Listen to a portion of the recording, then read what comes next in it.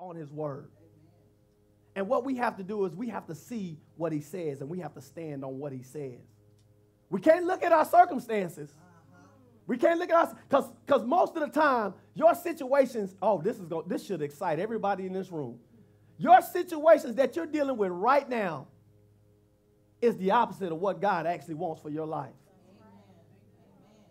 And so you should get excited and mad at the same time because you should tell your situation, you better stop lying to me. You, you're, you're, you're lying to me. Yes, this is hard. Yes, this is frustrating. Yes, it doesn't seem like it's going to ever end. But, but, but my God says that He will supply all of my needs. My God says that, that He watches over His word to perform it. So if He watches over His word, I have to stand and believe His word. I have to trust in His word. Because what His word told me is completely opposite of what I'm looking at right now. And so let me focus more on what He said versus what I'm seeing. Amen. Hallelujah. And so he exalts the house through your actions. After he gives you the vision, after he, after he gives you the promise, gives you the vision, he gives you the word. And once he gives you the word, now it's up to you to carry it out. You do have a part to play in it. It's up to you to carry it out. You have to walk it out. Because what he does is he shows you the end and then he sets you back at the starting line. All of us, I know, we all want to get to the finish line, but you got to start first. Because you know at the finish line, the one who crosses the finish line in a, in a regular race, a normal race, the one who crosses the finish line first wins. But in the kingdom of God, it's not that way. It's who all, whoever crosses the finish line wins. So we were kind of talking about this yesterday, kind of joking about this. Me, Pastor Dexter, Pastor Jeanette, Pastor Samuel, Pastor Deanna, and, and Angel. We were all talking, we were talking about dads versus moms, how they raise their sons. And how dads are harder on their sons than moms, and how moms are harder on their daughters than the dads. The dads, the daughters have the dad wrapped around their finger, the sons have mama wrapped around their finger, but dad is super hard on the son. And we were talking about there's no such thing as a participation trophy. I don't want my son getting no participation trophy. My son gonna win. If he don't win, he don't need a trophy. Period. Period. And Angel was like, "There's nothing wrong with second place." I said, "Who remembers second place?" Nobody. Nobody. But now God has convicted me since I've been standing here talking to y'all. God gives us a participation trophy. Because when we participate, we all win. We all get rewarded. We all get the award because we participate. But I'm still not going to let my son get no participation. Amen. Amen. But, but we get rewarded when we all start to, to do what God has called us to do. When we walk towards what He's called us to walk towards, He rewards us, He honors that. Because the Bible says faith without works is dead. So it does you no good to stand at the starting line and never move. That's what just happened to my son, my three year old son, this past weekend. I was mad at him. Because we had our Labor Day family reunion, and I got, y'all know, I got a huge family. On my mom's side, we went out there, everybody's out there. We have all of these competitions. We have all of these races, sack races, two legged races, all of these different things we have. I said, uh oh, my son is ready now. He's three years old. He's ready to go take the crown. And I, I had just drove up because I came from Arkansas to Oklahoma. I had just drove up and they were lining the three to five year olds up on the line. I said, oh, wait, hold on, hold on, wait. Wait. Wait, the champ is here. Wait, hold on. Hold on. And one of my other cousins' son was standing away from the starting line. He wasn't at the starting line. So I didn't see him. So what I do, I set my son in front of him on the starting line. And my, my cousin's like, what are you doing? You set your son in front of my I said, oh, I didn't see him, my bad. I had winning on my mind. I didn't see him. He better get in position. He wasn't in position, so he got overlooked. And so I set my son there and I coached him. I said, all right, when they said on your mark, get set, go. I said, you better run and run hard. And he's like, okay. And I said, all right, Josiah, you got me? When they say on your mark, get set, go, run. He said, okay. I was like, all right, yeah, we got this. We got this because, you know, he been doing it at home. So I knew he understood. Well, they said on your mark, get set, go. Everybody took off. And I'm like, run, Josiah, run, Josiah, run, Josiah. Everybody crossed the finish line. Josiah was standing at the starting line doing this. I'm like, dude, what are you doing? You were supposed to run. You said, okay, I got it. Okay, I understand. But you didn't run. Isn't this what we do in the church? We jump, we shout, we say, God, I got it. And then we go back out in life and we just stand there and say, Why? Why me, Lord? Why? Why are these bills overtaking me? God, why, why did the doctor give me this diagnosis? Why, Lord? And we're standing at the, at the starting point. When we got the instructions and we said we understood the instructions. But at the end of it, if we don't ever run, we won't win. So we got to run the race that's been set before us. We have to move. We have to go because your family is anointed to win. I don't care what family you come from. I don't care what the background is. You were created to win. And a lot of us, when we, when we tend to think about our family, we think about all the, the main thing we tend to focus on is the negativity in our family. We tend to focus on all the hangups and the thing what we like to do, especially when we've kind of come out of it and come into some some some, some fears of affluence and, and some, some fears of success, we tend to try to forget about our family. Right. We tend to try to push them to the side. We tend to try to disconnect ourselves from them because of all of the negative things that we can remember and all of the negative things that we recall to our minds that we say we don't want. And God placed you in that family for a reason. You might be the one that's supposed to be the difference maker. You might be the one that's supposed to, to deliver your family, Moses. You might be that very one. I, I said this back home. I'm not going to say it here, but uh, I'll tell y'all what I said, but I'm not going to say it the way I said it there. Um, I said, everybody got that drunk uncle and that crazy aunt in their family. Everybody got it. Some of you might have more than others. But what I said there that I'm not going to say here is if you don't think you had that crazy aunt, you might be the one, but I ain't going to say that here. you, you, I'm not going to say that here. I won't say that because, you know, to most of y'all, I'm, I'm a guest, so I'm not going to say that. But, but we all got somebody in the family, or we all have some things in our family that we're not proud of. Come on.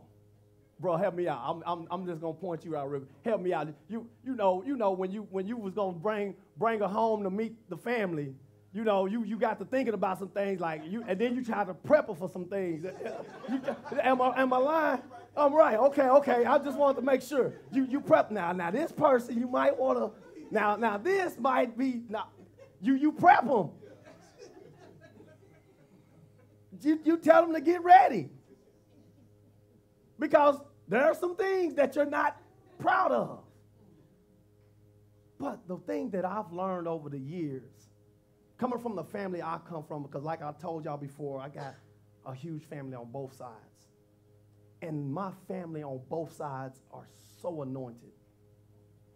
But the thing that, that, that tends to plague a lot of my family's mind is the negativity.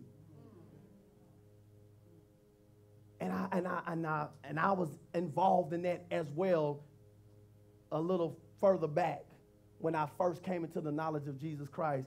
I tended, I tend tended to look down on some of the things I was taught. And it not only made me look down on it, it made me angry. And I was like, man, that wasn't right. Man, that was wrong. Why did they say, why did they do this? And, and, and, it, and it made me angry. But I was angry at the wrong person. I was angry at the wrong thing. My grandma, who's 90 years old, she was my pastor all while I was growing up. And my grandma taught me a lot. She taught me pretty much everything I know when it comes to walking with God, living for God, uh, doing the things that God has called you to do. She taught me about hell. She taught me about, about heaven and hell, but she taught me that if you are sinning and you living in sin, you going to hell. And I mean, she was strong on that. And to this day, she's still strong on that. I tell the story, we couldn't even play Uno in our house. We was gambling. That's teaching you how to gamble. We couldn't do none of that stuff. I mean, strict. But then when I came into the understanding of, of, of a little bit more, I got angry. But I was angry at the wrong thing because I learned some things. I learned not only about, you know, heaven and hell, but I learned about grace and mercy. And I learned about forgiveness. I learned about love. I learned about joy. I learned about peace. You know, I learned all of this stuff that I didn't really hear. Not that she didn't display it, because she loved, she loved, she, she, to this day, you would hear her say, God, she, her desire is to be the mother of the world. All of the abandoned babies, all of the orphans, and, and all this, she, her desire is to be the mother of all of those babies. Because she doesn't want to see any baby lost, don't want to see anybody hurt. She, that's, that's, that's her heart. But then when I learned all this other stuff, it's like, you didn't teach me this. And it was, and it's so easy to look down on her. But what she did for me is she laid the foundation. She laid the foundation. And that's what happens in our family. There's a foundation that's been laid, and you're the one that's supposed to build on that foundation. So I, I love learning about my family. And I love understanding the family anointing. Now, in my family, on my dad's side, almost everybody can sing. I didn't get it. I didn't get that family anointing. They, they, the first thing they say, they say, You're Lang? Oh, you could sing. I was like, No, not this one. I just preach. Now, I try to sing, and I only really try to sing is, is when I'm under the anointing. But I love to sing, but I can't sing. I'm not going to be your guest vocalist. You're not going to come and ask me to come sing for you. That's not my anointing. That's not my gifting. But everyone, everyone knows my family in that capacity on the Lang side. On the walker side, it's just a family of love and, and, and, and, and hospitality. And, and, and like the Labor Day weekend, it it's not just our family that's out there anymore. They, they all grew up, this is a, a little area in the country called Cane Creek. And they invite all the families from Cane Creek to come to this Labor Day weekend now since my grandma and my grandpa passed on, it's like, hey, let's just make it a Cane Creek family reunion. And it's, it's beautiful. There's hundreds of people out there. And when we're out there, it's all out on my grandma and grandpa's property. And they're having all of these different activities. They, they do even do an auction where they're auctioning off different things. They auctioned off one of my aunt's cakes for like $140. One of my uncle's cakes because my grandma had a bacon anointing. And it was passed down. I, I got a little bit of that now. Now I can bake. Don't get it twisted. I can bake. I can cook. I can grill. I can grill some. I can cook whatever you tell me to cook. I can put it together. That anointing was passed down. I ain't bragging. It's just the anointing that's on my life. I'm telling you, it's on my life. But but but but what what what I, I've learned and what I've appreciated with my my family on my mom's side is that how they brought other families together. And when I walked out there the other day, I was like, man, I don't know half these people out here. But it was a beautiful thing because it brought people together. And everybody had smiles on their faces, and they might be going through I don't know what. But but for that moment, my family was being used to bring some happiness and to bring some, some good memories to their mind. So understand that what God has placed on the inside of you, the anointing that God has placed on the inside of you and, and, and on your family, if it's not what you want it to be, it's what He's told you you're supposed to make it be. Because He put it in you. You're supposed to build on that foundation. So 2 Samuel chapter 6. This is when the ark, when, when, when David and, and, and all of his men, they were carrying the ark. Um, in, in verse 11, it says, the ark of the Lord remained there in Obed-Edom's house for three months. Now, why, I'm going to rewind real quick. Why was the, the ark in the house of Obed-Edom? The reason why is because Uzzah was killed for touching the ark. He touched the ark. The ark was the covenant of God. You wasn't supposed to touch it. The Levites especially wasn't supposed to touch it. Well, Uzzah just took it upon themselves like, hey, it's about to fall, so let me go ahead and put my hand on it and hold it there to make sure it don't fall. And God struck him dead because he disobeyed. And he, and, he, and he made the ark something common. He didn't reverence it. And so what happened, David got fearful. He got mad and then he got fearful. And he's like, nah, that's not going to my house. I don't want it. So let's, let's just go ahead and send it to Obed Edom's house. Let's just let, let, let him have it. Let him hold on to it. I'm good. I don't need it in my house. If it's killing folks like that, I don't need it. And so he did, did away with it. And so it stayed in his house for three months. And then what happened? the Lord blessed Obed Edom's house and his entire eh, Obed Edom and his entire household. Then King David was told about it. Hey, you remember old Obed? You remember that, that ark? Well, man, his house is blowing up. He's successful. His business is booming. His family is exploding. Everything's happening, man. His bank account is, uh, bank account is fat. Everything is just, just lovely in Obed Edom's house. So David was like, hold up, wait. I'm supposed to have that. So then it said, the Lord has, has, has blessed Obed Edom's house, household and everything he has because of the ark of God. So David went there and brought the ark of God from the house of Obed Edom to the city of David with a great celebration. And so, so he he's like, hey, that blessing was supposed to be mine. So let me go ahead and go back and get that like I'm supposed to and let me bring it to where it belongs. And David came in dancing and singing, and everybody was rejoicing and having a good time because now he's brought the ark back to where it belongs. And so this is the thing we have to understand. Sometimes the very thing that's supposed to bless you, it, it, it, it, it, could, it can harm others. But then on the other side, because you're not being obedient and doing what God told you to do with it, it can go to somebody else and bless them and you're looking at it, I, I, I'm, I'm still kicking myself because I had an invention about 15, 16 years ago. Yeah, that, yeah, that, that right there. And I looked into it, I researched it, and I was like, man, nobody's got this, nobody's done this. And do you not know I seen an infomercial about three or four months ago that somebody got the very invention that I was trying to put out there? I was like, I missed it. I missed it. And it was something simple. Something simple. I, I, athletes, y'all, y'all know anybody been an athlete? You're an athlete, you you you know, yeah, you know, when them knees get to aching, you gotta ice them.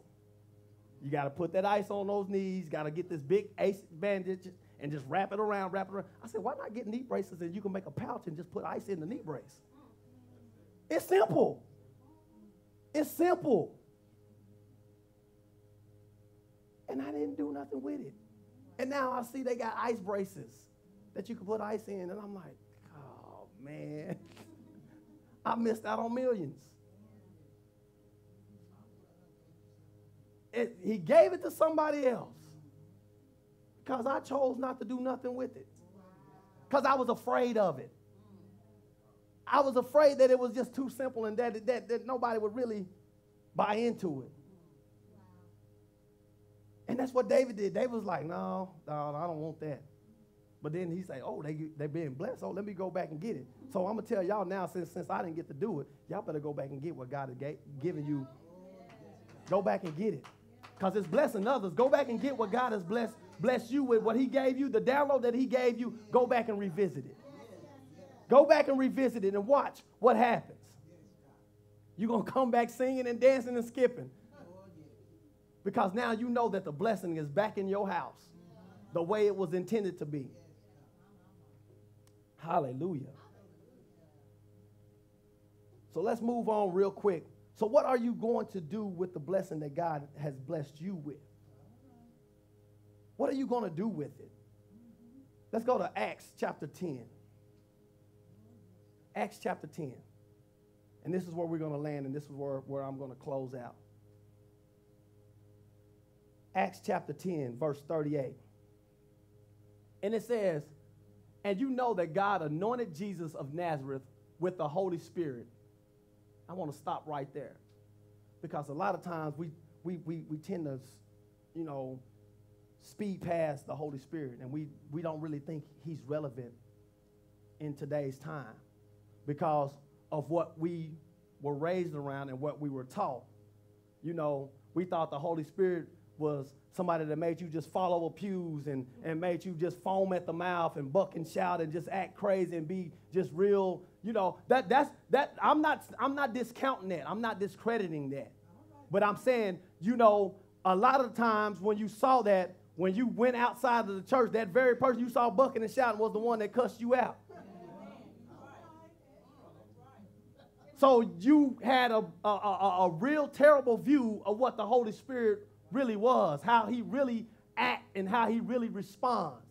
I, I am telling on myself right now, but I but I love li- listening to nephew Tommy. But I hate when he called church people. Oh, I love listening to his prank calls. Every time he prank call a, a church person, y'all notice what I'm saying, a church person. Oh my goodness. He called this one woman, and I mean, she was doing just fine for a little while. But it didn't take her no time to go from zero to a 100. And she kept saying, Ooh, Jesus, I'm trying. Ooh, Jesus, I'm trying. But then after that, it was bleep, bleep, bleep, bleep, bleep, bleep, bleep. She, and then this is what she said. She said, she said, see, I'm trying to stay on the side of Jesus, but you done brought the other side out of me. But that other side's supposed to be dead. That other side's supposed to be buried and gone. But the thing is, what happens is, is that we don't really fully engaged with the Holy Spirit and we don't allow the Holy Spirit to lead and guide us and direct us.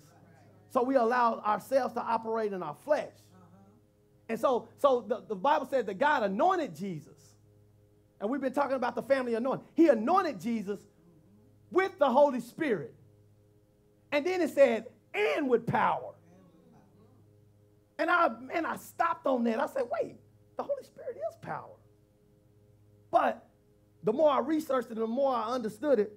Mr. Craig, can you give me my illustration? The more I researched it, he said, he said he anointed him. Uh, this, this is the thing you got to pay attention to, too. Also, it says Jesus of Nazareth. So he's basically talking about the man Jesus. He's talking about the man Jesus, and you can just sit it right there. And if you don't mind, give me, oh, that's one right there. I'll get that, that bottle of water. So he anointed, he anointed Jesus of Nazareth, the man, with the Holy Spirit. But then it says, and with power. Everybody in here, you're anointed. You're anointed you have been anointed. You have been gifted in some capacity. You have been anointed to do what you do in some capacity. But he says, and with power. And then it says, then Jesus went around doing good and healing all who were oppressed by the devil, for God was with him. This represents us. We're the vessel. This right here represents the anointing. And God pours, pours into us a measure of the anointing. He pours into us a measure of the anointing. We only receive a measure when we're born into the family we're born in. We're born into the earth, period.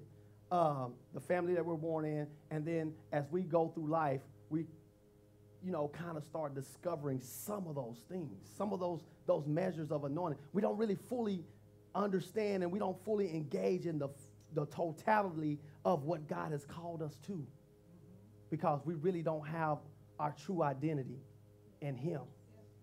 And so, so we receive a measure.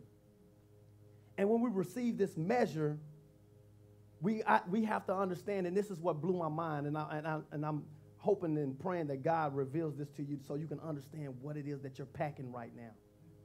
And, and what this represents in us. So as we receive a measure, you know, for those of you, let me go ahead and just ask it. How many of you in here are spirit filled? Okay. Good. So, this is a measure. Now, this is the thing we got to understand that back in the Old Testament, all they could receive was a measure because the Holy Spirit wasn't yet given. So, you know, the Holy Spirit would come upon them and they would be able to perform miracles and do things as the Holy Spirit came upon them. But as the Holy Spirit came upon them, once he left, it was over. It was done with. As they met others' needs, as they did, went around and doing what all God told them to do in those moments, in those seasons, the Holy Spirit just came upon them in those moments. And so they were filled with the Spirit. When Jesus came and anointed the disciples, they were filled with the Spirit but they still was only limited. But they were operating in the spirit. They were coming back bragging. They said, man, even the demons are subject to us. But why did Jesus tell them after he left? He said, go and wait on the promise. They were doing all of these great things. But all of those great things that they were doing, they could only do it in those moments as the Holy Spirit came upon them to do it. So as they were filled, they were filled, they had limited power. But when Jesus came on the scene, Jesus was baptized. I'm going to overflow this because I put too much water in it. It's messing up my illustration. Get it together. So as he was being baptized in it, not only was he filled, he was also immersed in the fullness of his power. He was also immersed in it.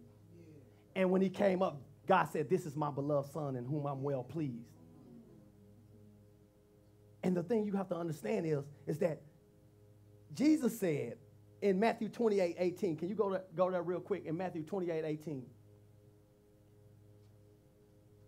in this in the New Living Translation. It says, Jesus came and told his disciples, I have been given all authority in heaven and on earth. Because he's baptized in it. Jesus of Nazareth, the man, the man. He said, I have to come down on earth to show you what you're capable of. I have to come down on earth to not only be empowered, but to empower you. I have to empower you to do what it is God has called you to do. So as you've been baptized in the fullness of who the Holy Spirit is, you're not only just, just being anointed, but you're also anointed with power. You have the power to do. You have the power to create. You have the power to change your situations with what you speak. When Jesus spoke to the fig tree, the, the fig tree had to dry up and die because he spoke it. What are you speaking? What are you cursing? What are you focusing on that's, get, that's, that's taking all of your attention away from what it is you're supposed to be focused on? What has your attention?